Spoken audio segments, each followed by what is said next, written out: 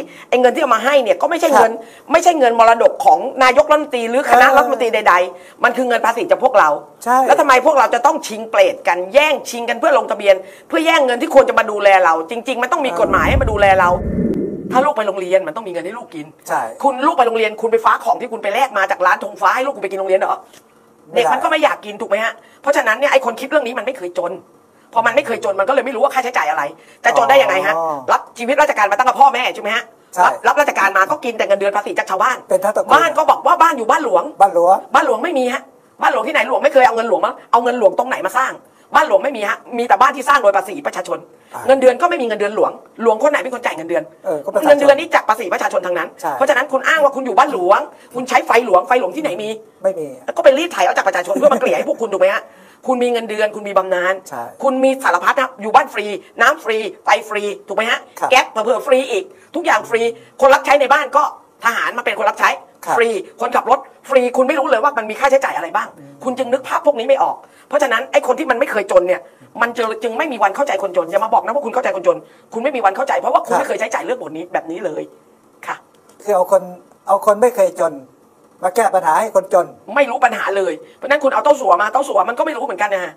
ว่าว่ามันเป็นยังไงก็คือคิดยังไงว่าเฮ้ยถ้าเงินออกไปมันทำไงมันจะวนมาเข้าฉันเขาคิดแต่กำไรเขาคิดอย่างเดียวนะใช่ถูกและและและดูไปดูตัวนั้นก็ได้ไอ้คนที่เป็นรัฐมนตรีว่าการกระทรวงการคลังนะค่ะ คนเหล่านี้เคยอดข้าวไหมไม่เคยค่ะ คุณไม่เข้าใจคุณไม่เข้าใจ คุณเอาง่าย ๆ เลย เพราะคุณมีคุณก็บอกว่าไปลงทะเบียนสิอ่าไปลงทะเบียนแล้วคนแก่คนเฒ่าเขาลงเป็นไหม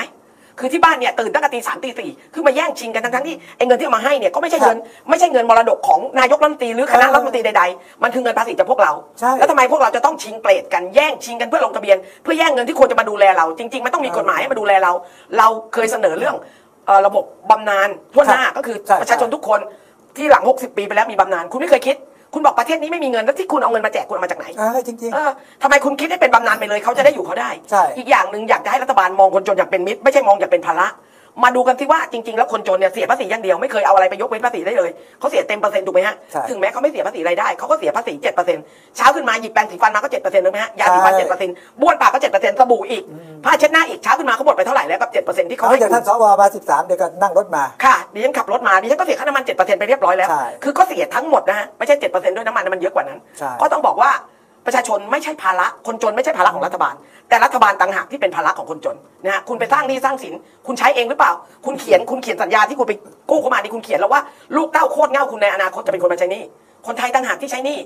คุณไปสร้างหนี้สร้างสินเอาไว้มากมายเนี่ยใช้เงินมือเติบ ซื้อนั่นซื้อนี่แล้วก็กองทัพก็บอกว่าหยุดซื้ออะไรซื้อได้นะฮะหยุดซื้ออาวุธยุทโธปกรณ์หยุดไม่ได้ เพราะว่าอาวุธยุทโธปกรณ์มันเป็นเรื่องจำเป็นของกองทัพ ดิฉันไม่เคยเห็นเขาเอาไปรบกับใคร นอกจากเอามาไว้มีกำลังแล้วก็สามารถรัฐประหารให้ชาวบ้านกลัวไม่กล้าออกมา เหมือนรัฐบาลพม่าตอนนี้ใครไม่กล้าออกมาเพราะเขามีอาวุธไงเขากลัวเราถังเออใช่เขามีอาวุธ เพราะฉะนั้นอาวุธที่คุณซื้อมาเนี่ยคุณไม่ได้ไปรบกับใครเลย คุณก็เอาไว้รบกับประชาชนคนที่เสียภาษีให้คุณไปซื้อมานั่นเอง หรือเปล่า คืออย่างนี้อันนี้พวกนี้เนี่ยก็พอพูดไปแล้วท่านผู้ฟังผู้ชมก็ลองคิดตามดูว่าจริงไหมใช่ไม่ได้เป็นดิฉันไม่ได้เป็นอริกับรัฐบาล ครับไม่เคยรู้จักคุณประยุทธ์เป็นการส่วนตัว ครับ ไม่เคยโกรธเกลียดคุณประยุทธ์ไม่เคยมาทำอะไรดิฉันดิฉันก็พูดตรงไปตรงมาตามภาษาเพราะดิฉันก็บอกเลยว่าดิฉันไม่เหมาะกับการเป็นนักการเมือง ไม่เหมาะอย่างยิ่งคนอย่างคุณยืนไม่เหมาะอย่างยิ่งที่เป็นนักการเมือง อ้าวอาจารย์ดิฉันมีเวลาแต่ทำงานค่ะ ดิฉันไม่มีเวลาไปงานบวชงานแต่งงานศพเพราะว่าดิฉันทำงานเต็มเวลากว่าจะกลับบ้านก็มืดค่ำดิฉันก็เหนื่อยต้องพักผ่อนแล้ว แต่นักการเมืองมันจะต้องไปงานนู้นงานนี้งานนั้นดิฉันไม่เหมาะค่ะ แล้วก็นักการเมืองต้องพูดเพราะเอาใจทุกคน ดิฉันมาทำงานให้ได้แต่ดิฉันพูดเพราะไม่เป็นดิฉันก็พูดตรงไปตรงมาแบบนี้แหละค่ะสวัสดีค่ะ คุณสั่งมาทำอะไรคะเนี่ย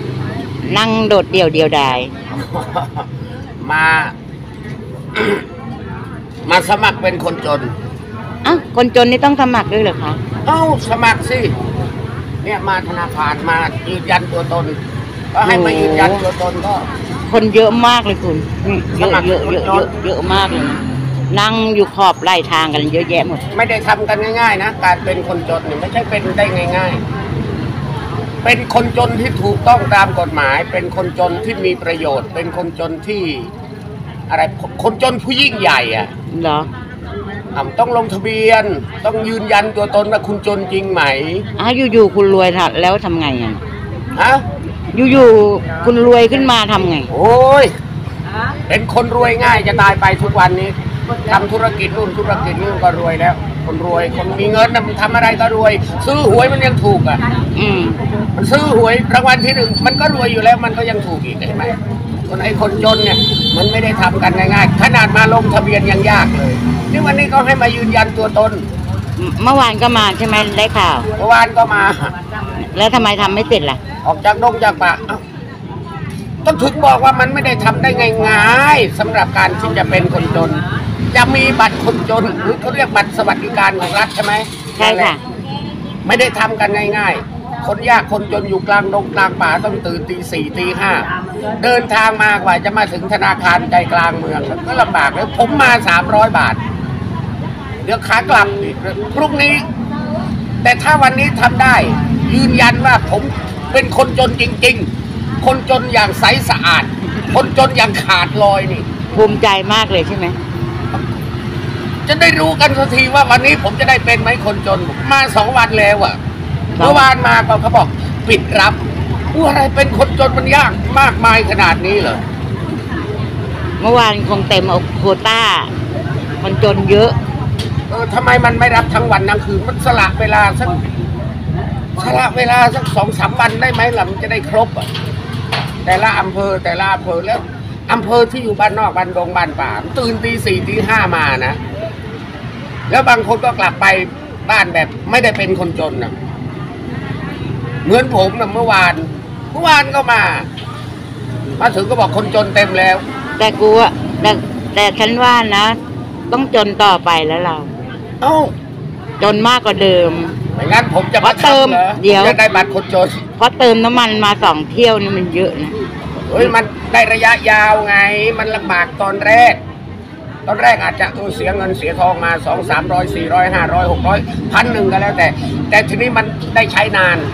แต่คุณต้องรักษาชีวิตคุณไว้นานๆนะ คุณจะถึงจะได้รับครบ อีสภาพพอแล้วเดี๋ยวจะถึงคิวผมแล้วมั้งเนี่ย ยัง ยังเหรอ ค่ะ บายบาย คนเยอะมากค่ะ อะ ต่ออีกคลิปหนึ่ง เรื่องบัตรคนจนพี่น้องประชาชน แชร์ไปถึงรัฐบาลด้วย มึงคิดอะไรอยู่รัฐบาล แค่บัตรประชาชนมึงสมควรจะพอแล้วนะ ให้พวกกูที่ไปยืนยันตัวตนกูต้องลางานไปนะเว้ย ลางานไปธนาคารวันนี้ไม่ทำให้พรุ่งนี้กูต้องลาอีก กูจนอยู่แล้วแม่งกูขาดรายได้กูเสือกจนไปอีก คนแก่อยู่บ้านนอกก็เหมือนกัน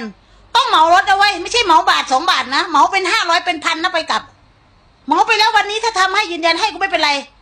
แล้วธนาคารบอกเต็มน่ะคิวเต็มเขาให้มาพรุ่งนี้กูจะเหมาไปกี่วันจะหมดเงินไปกี่พัน ถึงจะได้บัตรคนจน มึงคิดอะไรอยู่ มึงก็รู้อยู่ว่าเป็นบ้านนอกเป็นชนบทคนจน ต้องเหมารถเข้ามาในเมือง คนทำงานก็ต้องลางานขาดรายได้ กูจนอยู่แล้วแม่งกูเสือกจนไปอีกกูขาดรายได้ มึงนี่มีเงื่อนไขเหลือเกินกับคนจนนี่ มึงทำให้มันเรื่องง่ายๆเสือกให้เป็นเรื่องยาก มึงจริงใจหน่อยจะให้คนจนมึงจริงใจหน่อยไม่ให้ไปนั่งอยู่หน้าธนาคารเหมือนขอ One, two, three, come on!